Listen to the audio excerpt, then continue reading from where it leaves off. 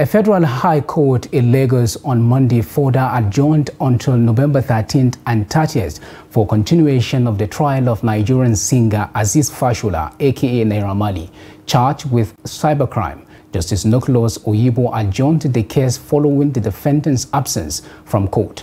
Reports say that the Economic and Financial Crimes Commission EFCC is prosecuting the defendant on charges bordering on cybercrime. The anti-graft agency preferred the charges on May 14, 2019. Naira Marley, who sang the popular song Am I a Yahoo Boy, was consequently arraigned on May 20, 2019 before Justice Nicholas Oweibo, before, but he pleaded not guilty.